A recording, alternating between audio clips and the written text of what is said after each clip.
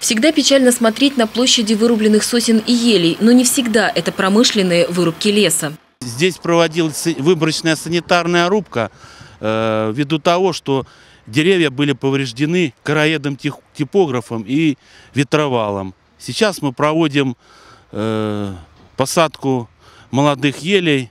Десногорское городское лесничество – настоящие доктора леса. Они ежегодно следят за здоровьем леса, который окружает Десногорск. Находят пораженные участки, производят очистку от больных деревьев и следом же сажают молоденькие елочки. Под каждый ряд деревьев нарезается межа и потом в каждую лунку бережно вручную высаживаются тоненькие ростки будущих могучих елей. Через 80 лет здесь будет уже нормальный лес, как, какой мы привыкли видеть везде.